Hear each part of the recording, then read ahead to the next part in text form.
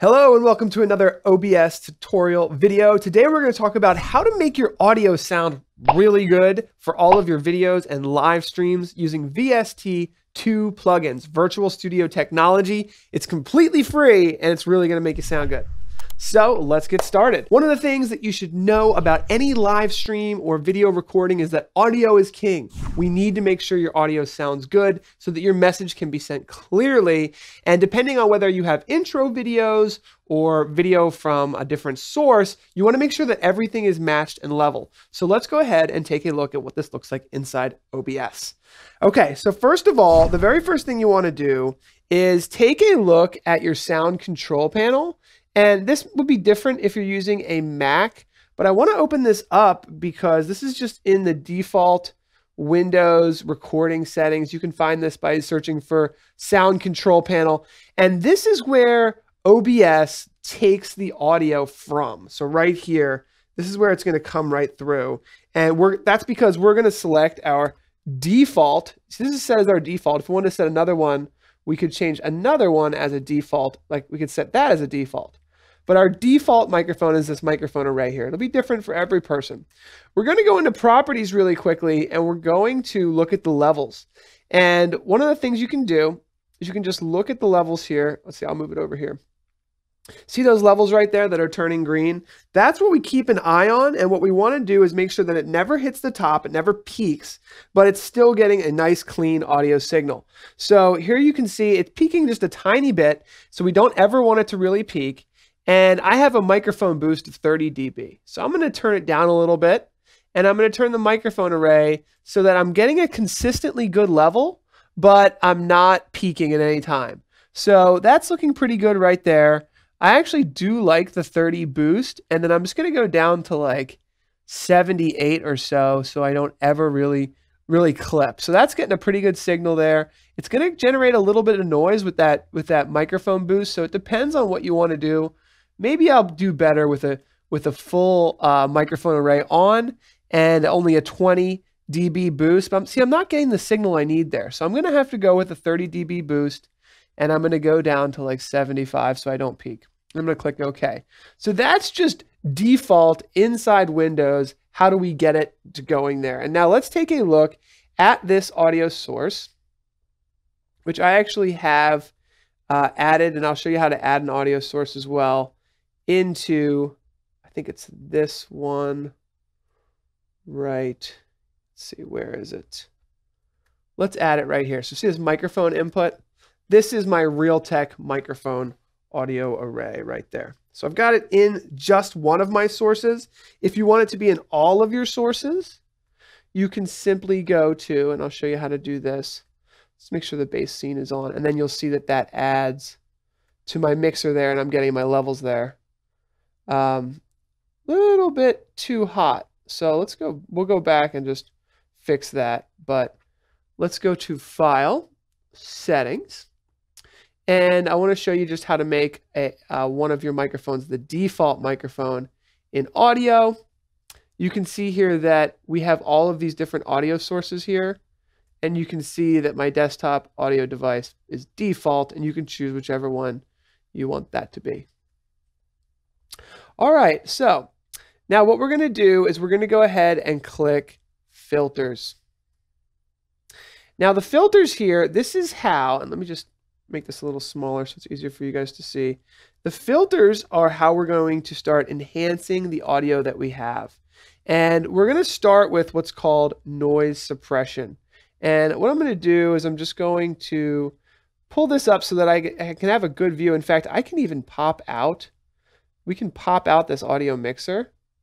So I can put the audio mixer over here maybe, just as a pop out, so I can keep my eye on all of my audio sources. And then I'll go in here into filters. I'll just resize this again, sorry. And then I'll be able to look at them side by side as we make our changes. Okay, cool. So I've got my filters and I've got my mixer right next to each other so I can see what I'm doing here. Now, noise suppression is really important and you don't want to use too much of it.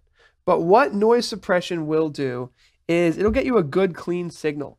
and it, you you can get it all the way up to maybe like you know, depending on how noisy your microphone is, we have that 30 dB of microphone boost, so we are going to get some noise from that. But you want to use as little noise suppression as possible to make sure that we're just kind of reducing the noise that's coming through. So, you know, I'm basically going to have it roughly at like roughly, uh, you know, negative 20. You're going to want to do some testing here. And then the next thing we're going to do is we're going to add a gate. And let me show you how we did that. So I have already installed a free pack of tools, which I'm going to put the link below, but these are VST2 plugins from Reaper.fm. And these are completely free, and it includes a compressor, um, a noise gate. It has a whole bunch of tools here. This is a compressor I'll show you how to use. Um, we have a whole bunch of great stuff. There's a delay if you need it. That's more for like guitars and stuff. There's an advanced EQ, which I'll show you guys how to use. Really basic audio stuff that I will try to, if you know nothing, don't worry. It's not going to be too big of a deal. There's a gate, a low pass, and a high pass. And we'll show you how to put all of these in in a chain. Now keep in mind, these audio filters do work in a chain. So it'll suppress the noise first. That's the first thing we want to do. And then we want to add our gate. So hit the plus button. And now keep in mind, OBS has a basic noise gate, but I'm going to click the VST2 plugin. Uh, this is a noise gate with VST, and I'm going to click OK. And then I'm going to select the ReaGate standalone plugin and open it up. Now, as you can see here, it's coming in, it's getting our levels. And what we want to do is we actually want to be quiet for just one second and we want to look at that gate and we want to see where is noise happening that we could get rid of simply by putting a gate on it. And I'll explain it in a second, but let me just be quiet so we can listen to the noise. Okay, you see that? Right around there is the noise of the room without me talking. That is where we want our gate to go. So what happens is, is that you raise the gate so that at that point, there will basically, it will mic the, it will mute the microphone automatically. So if you're not talking, there's no background noise. See that? It's the perfect level. You put it right there. And then what happens is that the, even though there is noise in the room, over here, in our microphone, it's muted. So it's a great way to enhance your audio when you're not talking so that, and ideally so that you don't hear like the breaths, like the, that kind of stuff in between your audio recordings and your live streams. So let's just look at it one more time here.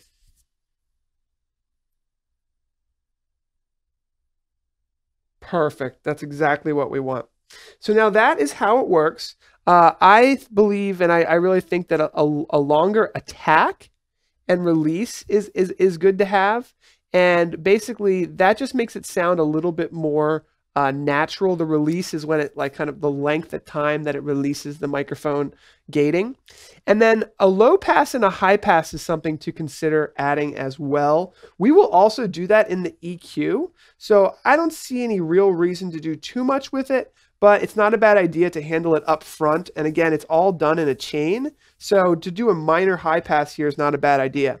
A high pass essentially cuts out a lot of low level noise. Anything in a, a spectrum below 80 hertz is below the sound of the human voice. So therefore, and we'll look at this more detailed in the EQ, Anything under 80 hertz is just rumbling noise of like a computer or some low hum of a bass that we just don't need. On the high pass side, generally, you know, it depends on people's different voices, but I'm just going to put 1700 here. My voice is a male voice. It doesn't get up to the really high pitched uh, levels. So anything above really, I mean, I'm going to put actually 1500 here. It's just a high level noise from something buzzing in the room. And it, there's no need to have it because we're talking about voices here. Now, um, you can see dry and noise and wet is all set to like kind of the defaults. And we're going to leave it there. Um, the most important thing is that I've kind of brought the release up to, you know, roughly like 250, 200, 220 is fine. Uh, that'll make it sound a little bit smoother. Okay. Now that that is done, let's go ahead and take a look at our next plugin that we're going to use, which is AEQ. And it is important the chain in which we do these, and I'll talk about it a little bit more. So VST2 EQ. All right. Now, let's go ahead and switch back to my base scene here. There we go. All right, so we're going to go ahead and add the EQ. So we just simply do our uh, the EQ there, the standalone EQ. And now we're going to EQ, and now you can see here all of these, uh, you know, audio levels jumping up and down as I talk. And as you can see that not a whole lot's happening above like 10K, as I mentioned. You can see here that there's some lower end rumbling, but that's the sound of my voice right there coming through my microphone. So what we want to do is enhance the voice. And this is something that it's a little bit different for everybody. But um, now that we've done it, we can kind of remove where we don't, what we don't need and enhance the voice to, to what we do use. So let's go ahead and just take a little bit off of the low end here. Okay. Because we really don't need it. Um, when we talked about that, you got this low shelf here not needed. And we're just going to have it come down in a little bit of a curve like this. And that's going to, could possibly reduce, reduce some of the boom in my voice, but it'll make it more intelligible. And then on this side, now this is different for every single person depending on what you want your voice to sound like. This is going to add a little bit of clarity and I'm going to add just a little bit here as well. Okay. Now listening to my audio, I can see here that it's looking pretty good and um, you know, I'm liking what I'm seeing. So let's go ahead and keep that the way it is. I'll add a little bit of gain here, which will just, that's just going to uh, increase everything there. And you just got to do this for each person. And it does take a lot of time here, but uh, this is something that you, it's a four band. So we've got our low shelf. So that's how we kind of get rid of some of those lower end frequencies that don't have anything to do with my voice too much. We've got this band, which is more about the boominess of my voice. And then in between 200 to 500, this is where, you know, we're talking about kind of like the main kind of nasaliness of the voice. And then up here, this is where those high end notes, the, tss, the, the things that make it really uh, more clear up here. So it's different for every person. So just remember that. Okay. Boom. There's our EQ and noise gate. Um, you know what, actually? All right, perfect. Now let's add our final one, which is going to be our compression. And the compression is really important. And I'll explain why. Here's the compressor here. So the compressor is really important this is the, the built-in compressor, um, which you could use if you want to, but we are going to use the VST 2 compressor. Just gives a little bit more functionality. All right. Let's choose our standalone compressor here. All right, so here's our compressor. Now what compressors do is it, it pushes down on that EQ and really makes it so that you can't peak as much, which is good because I can see that we are, we are peaking. Um, so we want to, we've probably got to work on our gain structure. So you can see over here, this is a really great view. We can see that we're peaking. So we've actually added a little bit too much to, before we go too much further, let's make sure, let's remove that boost from our audio, which is good because before you know, we had to add all this boost to get a good, decent sound out of our microphone. And now it's just, it's too much. So it's, it's peaking already. So let's go into our levels and finally get rid of that 20 dB. There we go. Let's do something like that. We don't want to peak. There we go. Now we're looking a lot better. And this, I'm not using the highest quality microphone here for our test either, but um, it is still important to is really more for like a technical setup here. All right. So now let's go into our microphone And I can see it's getting better levels already. Let's go into our filters. There we go. Just slide this up a hair. All right, and obviously there's going to be a lot of testing that goes on. So you're going to test this a few times, make some recordings, then you're going to get to the live stream. No, no uh, sense uh, embarrassing yourself on a live stream uh, until you have, you know, you've done some good recordings and you know what you're doing. All right, so we're still, you know, basically peaking a little bit here, right? We don't want to go all the way up to that level. So what we can do is we can add our compression settings. Now I'm going to take the attack to about five milliseconds. Just going to make it a little smoother. And I'm going to reduce the release a little bit so that we make it nice and smooth. And my ratio is going to go 10 to 1. And what that does is it pushes down and makes it so that, you know, we're really uh, compressing it so that it really makes it, your voice sound more. You just you have to listen to it. It's hard to explain, but it, it, it could get to the point where if you're compressing it too much, that you sound like really radio and like almost like you're on a megaphone. But if you're if you're using it the right amount, it should make your voice just a lot more clear and kind of cut through, um, you know, on on people's uh, headsets and microphones. Now I'm going to take the threshold down quite a bit here. I'm going to take the threshold down to about uh, 22. And now look at that. Now we're not um, peaking at all. Isn't that great? Look at what we just did. So the threshold is basically like our maximum level that we want, uh, you know, the compression to start at. So now we're really doing good here. We've barely got um, any peaking. And if you could hear the audio, you would know, and you to do a lot of testing here, that it's really compressing it down nicely. So let's just take the wetness up just a hair. I've noticed that helps.